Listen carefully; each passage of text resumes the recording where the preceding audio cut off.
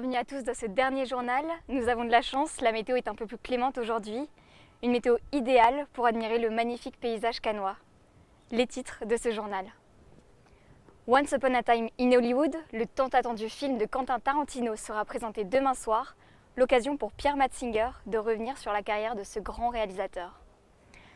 Une fois de plus, nous avons la chance d'accueillir Alex Lutz, cet acteur-réalisateur alsacien il s'est entretenu avec Valentine Bontemps. Enfin, nous parlerons d'un film, Perdrix, d'Erwan Leduc. Nous sommes toujours au port de Cannes. C'est d'ailleurs le premier port de France à avoir eu le label Qualité Tourisme Port de Plaisance. Stéphane Calatayoud est chef de service opération et commerce au port de Cannes. Nicolas Laurent a le plaisir de le recevoir. Monsieur Calatayoud, bonsoir. Bonsoir. Merci infiniment d'avoir accepté notre invitation. Alexandra le disait, vous êtes responsable du service commerce au port de Cannes. On va planter le décor tout de suite. 800 000 passagers en 2018, une fréquentation record. Je crois qu'on peut dire que les affaires se portent très bien pour le port de Cannes. Les affaires se portent bien, effectivement. On fait 400 000 passagers sur euh, les transports côtiers et 420 000 sur la croisière. Donc euh, une activité en hausse, il euh, n'y a pas à se plaindre. Vous êtes à la tête de cinq collaborateurs. Vous gérez aussi bien les escales euh, maritimes, les taxis de mer ou encore les ravitaillements en carburant. Euh, ce serait vraiment réducteur de vous réduire à l'accueil des bateaux. Oui, exactement. En fait, l'activité commerce euh, et tout ce qui n'est pas yachting, en fait. Donc, ça va de l'escale militaire, comme vous l'avez dit, à la prix de pêche. les ravitaillements, on fait quand même entre 4 et 5 millions de litres distribués chaque année. donc il y a pas mal de travail, les conventions, les AOT, DSP des chiffres qui donnent le vertige. 800 000 passagers, c'est des chiffres énormes. Comment on gère ça? Cannes est une, euh, est une destination prisée. Euh, elle est connue au niveau international grâce au festival, forcément. Donc euh, beaucoup de demandes et de sollicitations pour cette destination. Est-ce que vous me parlez, vous pouvez me parler de votre lien avec la mairie? C'est eux qui détiennent le port. comment ça se passe la collaboration? La collaboration se passe très bien. C'est notre partenaire principal forcément puisque l'autorité du port et la ville de Cannes. Donc on, doit marcher main dans la main. Euh, ici aussi pour l'accueil des croisiéristes avec euh, le parking qui appartient à la ville, nos équipes travaillent ensemble pour pouvoir doubler les places de bus. Euh, donc oui, notre partenaire principal est, bien la ville de Cannes. Je voulais que vous nous parliez un peu de, ce festival de Cannes, cette 72e édition. en quoi l'événement change votre façon de travailler? Je pense notamment dans le domaine de la sécurité. Oui, comme vous l'avez pu le constater, beaucoup de contraintes sécuritaires, euh, sûreté. Nous, en ce qui nous concerne, on a essentiellement du criblage de passagers, d'équipage qui nous sont demandés par les autorités et des mesures de prévention euh, et de ronde accrues euh, par rapport à ce que nous faisons habituellement. D'ailleurs, il n'y a pas de mystère. Votre plus gros mois, là où il y a le plus de monde, c'est le mois de mai, le mois du festival. Exactement, c'est le mois de tous les records. Merci infiniment d'avoir été notre invité. Je voulais vous remercier de la part de l'ensemble de la rédaction pour euh, l'accueil de la CCI du port de Cannes, qui a été un accueil euh, juste euh, génial et qui nous a permis de travailler dans des conditions juste remarquables. Alors merci infiniment et je vous souhaite une bonne fin de festival. Écoutez, merci au nom du port de Cannes. On vous souhaite bon vent, comme on dit chez nous. Merci. Au revoir. Leonardo DiCaprio, Brad Pitt, Margot Robbie, Quentin Tarantino s'offre un casting de rêve pour son dernier film, Once Upon a Time in Hollywood. Pierre Matzinger revient sur les films qui ont fait la renommée de ce grand réalisateur. Sa participation n'était pas assurée, finalement il est présent pour cette 72e édition du Festival de Cannes. Quentin Tarantino est donc venu présenter son dernier film Once Upon a Time in Hollywood. Pour sa neuvième réalisation, l'un des metteurs en scène les plus en vue revient avec un casting exceptionnel, avec Leonardo DiCaprio, Brad Pitt et Margot Robbie. Tarantino, à travers son nouveau film, rend hommage à la grande industrie hollywoodienne. Déjà auteur de grands classiques du cinéma avec Reservoir Dogs en 1992 et deux ans plus tard avec Pulp Fiction, composé encore d'un casting imposant avec Uma Thurman, John Travolta, Samuel L. Jackson ou encore Bruce Willis. What's Fonzie like? Cool. Correct the mundo, and that's what we're gonna be. We're gonna be cool. C'est d'ailleurs avec ce film qu'il obtiendra pour la première fois la Palme d'Or au Festival de Cannes. Pendant plus de 10 ans, il réalisera 7 films, la plupart moins célèbres comme Jackie Brown, mais également Kill Bill volume 1 et 2, le second lui valant pourtant une nomination hors compétition au festival. Quentin Tarantino fera alors encore une pause de 2 ans pour revenir plus fort en 2009.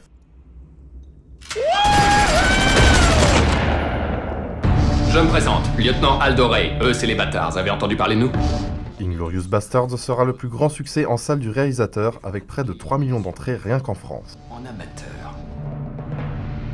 Alors on vient voir si vous voulez passer pro. Christophe Valls recevra l'Oscar du meilleur acteur pour un second rôle et le prix d'interprétation masculine du festival pour sa prestation du colonel SS Hans Landa. Ouh, c'est un bingo Nouvelle pause de 3 ans cette fois, et plus les absences sont longues, plus le retour est marquant. Ainsi, Tarantino se mettra au style western et reviendra avec une de ses plus grandes réalisations. J'aime ta façon de crever, mon gars. Messieurs, vous avez commencé par éveiller ma curiosité, mais là vous captez mon attention. Django Unchained sera son film le plus récompensé avec un Oscar à Los Angeles, une récompense à Londres avec le BAFTA et le Golden Globe du meilleur scénario à Los Angeles. Quatre ans après son dernier film Les Huit Salopards, Quentin Tarantino revient donc au festival avec Once Upon a Time in Hollywood, qui s'annonce comme un des films les plus attendus de cette édition.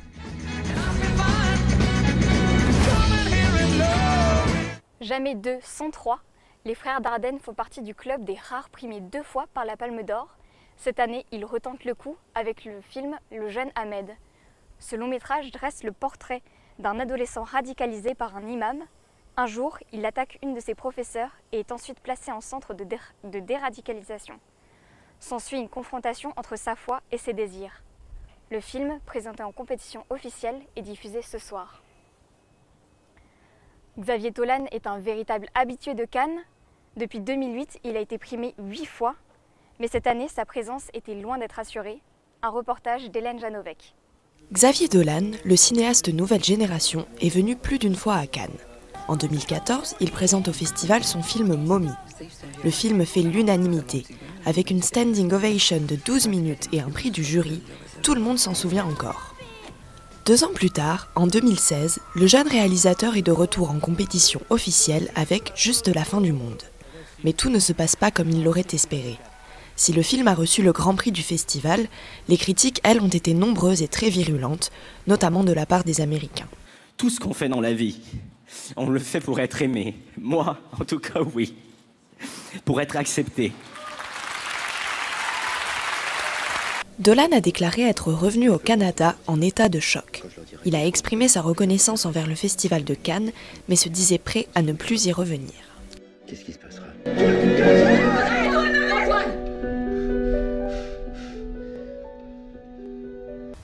L'année dernière, Xavier Dolan a été l'un des grands absents du festival. Il a refusé d'y présenter son dernier film, Ma vie avec John F. Donovan. Pour des questions de montage, le réalisateur a décidé que le film devait naître ailleurs. Mais difficile de ne pas revenir au Festival de Cannes une fois qu'on y a mis les pieds. Xavier Dolan semble avoir revu son jugement puisqu'il est présent sur la croisette cette année. Il y présentera son nouveau film, Mathias et Maxime, qui raconte l'histoire de deux amis qui découvrent leur attirance pour les hommes et tombent amoureux. Dolan semble avoir laissé de côté sa rancœur, et c'est tant mieux, car qu'on l'aime ou qu'on le déteste, il ne laisse personne indifférent. La bataille continue. Je tournerai des films toute ma vie qui seront aimés ou non. Mais comme disait Anatole France, je préfère la folie des passions à la... Donc, Xavier Dolan fête le dixième anniversaire de son film J'ai tué ma mère. Mathias et Maxime sera, sera lui présenté mercredi en compétition officielle. Retour sur un grand moment d'émotion hier soir, Alain Delon recevait la Palme d'Or d'honneur. Pour l'occasion, il a livré un discours bouleversant. Ce soir, c'est un peu un hommage posthume,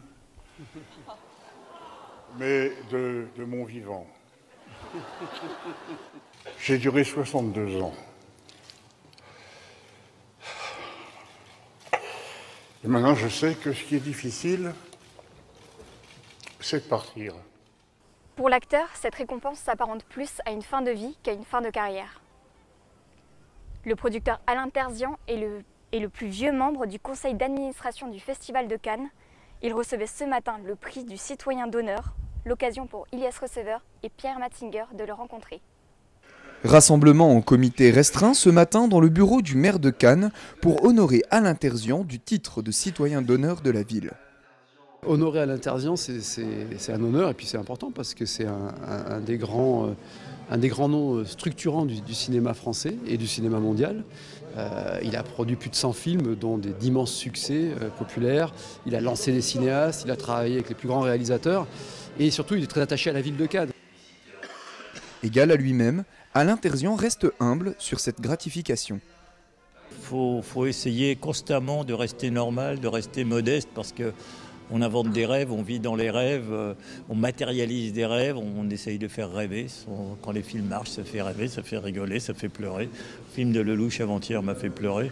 Euh, le film Les Visiteurs m'a fait marrer pendant 15 ans. Parmi les invités, Pierre Lescure, président du Festival de Cannes. Il nous parle de cette 72e édition. Ben, pour l'instant, on est presque à mi-parcours, à 40-45%. Et euh, tout se passe bien, puisqu'en plus, vous me posez la question alors que le soleil est revenu après deux jours de, petites pluies et de temps gris et un peu de fraîcheur. Mais c'était la seule ombre. Et en même temps, il faut ça pour euh, goûter la somme incroyable de bonheur qu'on a eue. On a toute la gamme. On a à la fois des films nouveaux euh, et, de nouveaux réalisateurs. On a eu ça. On a eu de, très grands noms qui sont venus avec de très grands films. Donc normalement tout est réuni pour faire une grande édition, surtout que ce qui arrive n'est pas pourri non plus. Pour Ce soir c'est le Absolument.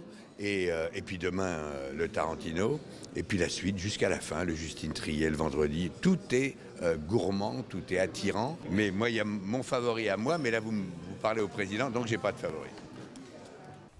On revient en Alsace quelques instants avec le film Perdrix d'Erwan Leduc.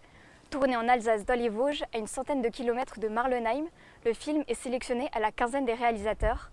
Anthony Goutusseau et Pierre Matzinger ont rencontré l'équipe du film.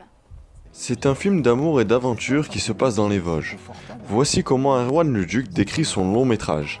À l'affiche, Swan Arlo, César du meilleur acteur l'année dernière qui incarne Pierre Perdry, un gendarme qui tombe amoureux, mais aussi Fanny Ardant et Nicolas Maury, un casting pour le moins prestigieux. Pourtant, ce qui fait la différence aux yeux du réalisateur, ce sont avant tout les montagnes, forêts et lacs vosgiens, en bref, tout ce qui a servi de décor au film. Il y a eu quelque chose d'un peu magique quand même avec, la nature en fait qui nous a accompagnés. Et c'est ça qui est beau quand on tourne, c'est qu'on met en place quelque chose qui est très concret, très organisé. Et ce qui est beau, c'est quand ça prend vie. Et là, ça prenait vie malgré nous. Parce que tout d'un coup, la nature, par un coup de vent, par un vol d'oiseau qui passe dans le cadre, euh, pas prévu, et ben ça, ça, donne une autre dimension et ça amène une poésie qui, qui nous dépasse. Et si cette poésie est aussi présente, c'est en partie grâce à la région Grand Est. Si l'institution a participé au financement du film, c'est surtout la suggestion de lieux de tournage qui a permis de sublimer le travail des acteurs. votre voiture a bien eu lieu ici. C'était un endroit euh, vraiment euh, très, très, très beau, euh, très fort, avec des lumières le soir, le matin, assez incroyable. Et donc bah, ça, ça, ça remplit en fait, ça nous met dans une, dans une atmosphère particulière. Donc c'est ce qui teinte le film, évidemment, il n'aurait pas pu se tourner ailleurs. Reste à savoir maintenant si ces lieux permettront à Perdry de se distinguer du reste de la sélection avant la fin de la quinzaine. Une première échéance avant sa sortie en salle le 14 août prochain. Le Grand Est est présent à Cannes cette année, l'occasion pour la région de créer des contacts. Hélène Janovec et Bettina Petri ont rencontré Pascal Mangin, président de la commission culture au Grand Est. D'abord, on est présent à Cannes pour, euh, pour plusieurs raisons. Parce qu'on aime bien avoir des films qui sont euh, on aimerait bien monter les marches et avoir des films dans la section officielle. Cette année, c'est pas le cas, mais on a un film euh, Perdri d'Erwan Leduc qui a été tourné dans la région avec un acteur qu'on aime beaucoup dans la région, c'est Swan Arlo qui était euh, l'acteur qui a eu le, César du meilleur rôle masculin dans Petit paysan du Bercharuel, qui est sélectionné à la quinzaine des réalisateurs. Entre l'année dernière et cette année, on a augmenté le nombre de jours de tournage de 70%. Donc ça, c'est vraiment quelque chose qui souligne que les choses vont plutôt pas mal, mais moi je pense qu'on en a encore un petit peu sous le pied. Et donc il y a notamment euh, des efforts euh, à la fois sur ce réseau plateau que nous allons poursuivre, et puis aussi euh, se séparer un petit peu des autres régions, ne pas faire la même chose que tous les autres. Par exemple, on va aussi essayer de concentrer nos, nos efforts sur la distribution, c'est-à-dire au moment où les films sortent, comment est-ce que l'on peut aider ces sorties de films, accompagner ce moment extrêmement bah, délicat, mais en tout cas important pour, les productions, que ce soit d'ailleurs des fictions télé ou des productions euh, cinématographiques.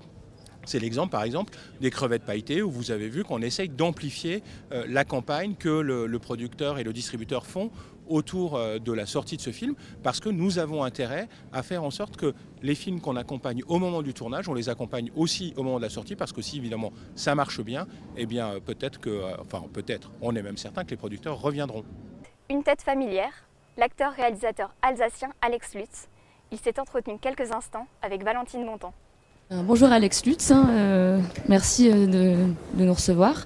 Bonjour. Donc euh, on va un peu parler de votre présence à Cannes cette année. Que, est-ce que vous êtes venu présenter quelque chose ou- Non, je suis euh, venu parce que le festival m'a gentiment au- euh, invité pour euh, l'ouverture notamment, et puis euh, assister à quelques projections dans la première semaine. Et parallèlement à ça, je travaillais pour un film que je veux faire en tant qu'acteur, euh, enfin que j'ai accepté en tant qu'acteur qui me plaît beaucoup, mais qui est en train de se monter. Alors, euh, alors euh, bah, y on est allé de rendez-vous en rendez-vous pour, pour la- que le film puisse se, faire dans les bonnes conditions avec le réalisateur et le producteur. voilà. D'accord. Vous avez vu quel film Alors j'ai eu la chance de voir le Jarmouche, j'ai vu le Ken Loach, j'ai vu euh, Les Misérables qui est merveilleux et j'ai vu euh, euh, Les plus belles années de notre vie de Lelouchière. voilà. Et alors vous avez un favori pour l'instant? Ben, le louche, je suis pas objectif parce que je l'aime d'amour, d'amour, d'amour, mais comme presque un. Il y a des on s'invente des membres importants de, sa famille artistique quand on fait ce métier. Et, euh, et Claude, ça fait partie des cinéastes qui m'ont tellement donné envie que je, je le mets complètement hors catégorie. Euh, parce que, voilà. Mais sur les trois autres, non, Les Misérables m'ont foutu une très belle euh, baffe. Pour finir, on pose souvent les mêmes questions. Mais si vous pouviez parler librement, qu'est-ce que vous aimeriez dire? Bah, je parle librement. Donc, euh, je ne m'empêche pas de dire les choses. Euh, non, j'aimerais que les gens aient moins peur. J'ai l'impression qu'on est dans une période de, de, comme disait Brecht, euh, enfin, comme a écrit Brecht, de grand peur et misère euh, du Troisième Reich, mais de grand, de grand peur et misère. Et l'un nourrit l'autre, quoi. Donc, euh, je- je nous trouve effrayés de tout et en même temps réactifs à tout. Et ça, je trouve ça compliqué. C'est-à-dire qu'on euh, on poste nos avis à la seconde où quelque chose a lieu, on décale euh, nos commentaires sur le commentaire du commentaire du commentaire, tout en disant mais ça tu peux plus dire, ça tu peux plus dire. C'est très, c'est une époque très étrange pour ça. La, modernité de la communication de notre époque, je ne sais pas si elle est dangereuse ou pas dangereuse, mais elle donne la sensation d'être euh, de son vivant dans un film d'anticipation. Et d'être tout le temps en retard de quelque chose. Euh, Ça, alors, euh, voilà, moi j'adorerais qu'on ait un peu moins peur et qu'on prenne euh, le, à nouveau le temps de, de se parler entre, de, de se parler et, et- et- et peut-être pas de rêver de parler à tout le monde en même temps. Il me paraît être un drôle de fantasme. Bah écoutez, bah, merci beaucoup d'avoir pris le temps. Merci vraiment.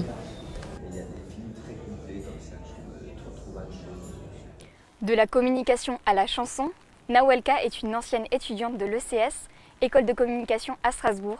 Elle est sur notre plateau ce soir. Tout à fait, Alexandra. Donc, je me trouve avec Nawelka. Nawelka, bonsoir. Bonsoir. Euh, alors, c'est pas la première fois qu'on se rencontre. hein. Vous êtes une ancienne étudiante euh, du campus Media School à Strasbourg. Du coup, ma première question, elle est assez simple. Vous vous définissez plutôt comme une communicante ou comme une chanteuse? Alors je dirais honnêtement les deux, parce que euh, j'ai choisi euh, la musique par passion, mais la communication aussi. Et euh, si dans un avenir ou un futur proche euh, mêler les deux, avoir et mon agence de communication que je peux déléguer à quelqu'un et continuer ma musique, ce serait parfait. Vos anciens titres étaient plutôt des titres pop folk. Aujourd'hui, vous vous tournez vers la pop urbaine. Pourquoi ce changement? Expliquez-nous un peu votre univers. Alors du coup, c'est vrai que moi j'aime beaucoup tout ce qui est euh, pop folk, sauf que euh, j'ai découvert la pop urbaine euh, depuis quelques temps en m'intéressant à des artistes actuels. Il y a des sonorités que j'aime bien et mon style, je le définirais justement avec des sonorités un peu plus urbaines actuellement que ce que j'ai pu faire avant. Donc d'où le virage actuel. Vous êtes en pleine préparation d'un projet. Vous pouvez nous en dire un peu plus? Alors du coup, oui, effectivement, préparation d'un nouveau projet. On va oublier un peu ce que j'ai fait avant, même si euh, ça a été un très beau tremplin et euh, je suis fière euh, des gens avec qui j'ai pu bosser sur ces projets-là. J'en garde un très bon souvenir. Préparation d'un EP, donc c'est cinq titres, voire peut-être plus pour la rentrée, voilà, donc très prochainement. En tout cas, ce soir, vous allez nous interpréter le titre d'Adèle, Hiding My Heart. C'est ça. Place à la musique Allez.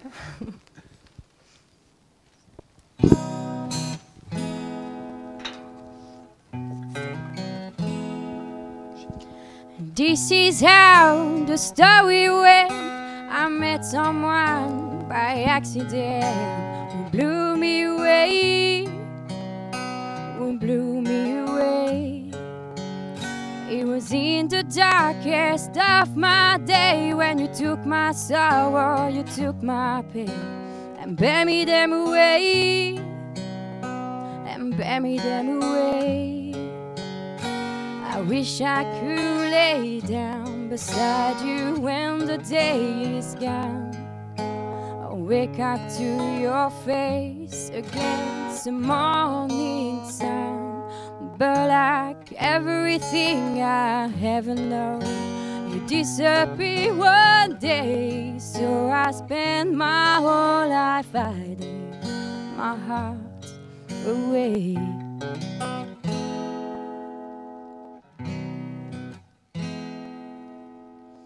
Drop you off on a train station. Put a kiss on the top of your head and watch you wait. Oh, watch your wave. Then I carry my home to my skyscrapers, neon light, and wedding papers that I call home. I call that home. I wish I could lay down beside you when the day is gone and wake up to your face against the morning sun. But like everything I ever know, you disappear one day. So I spend my whole life hiding my heart away.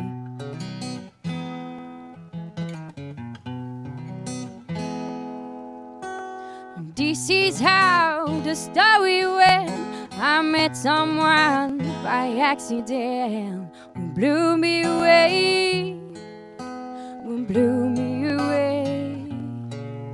It was in the darkest of my day when you took my sorrow, you took my pain, and buried them away, and buried them away. Wish I could lay down beside you when the day is gone and wake up to your face against the morning sun. But like everything I ever know, you disappear one day. So I spend my whole life hiding my heart away.